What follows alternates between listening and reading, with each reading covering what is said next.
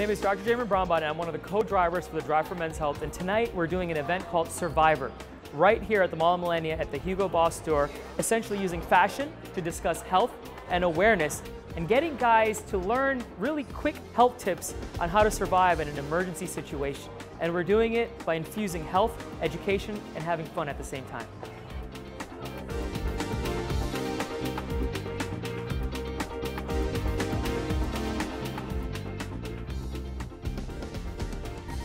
My name is Dr. Sujay Parekattil. I'm a urologist. I'm here with the Drive for Men's Health and local physicians from different specialties.